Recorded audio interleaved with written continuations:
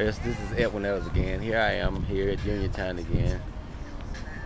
There are still a, quite a few people coming here to vote.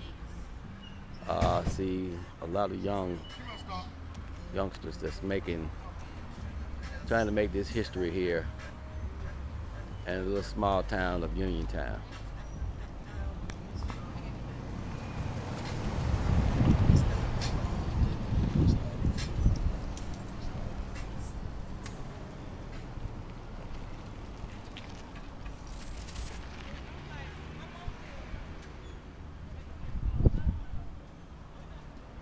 We see quite a few cars out here for it to be such a little small town.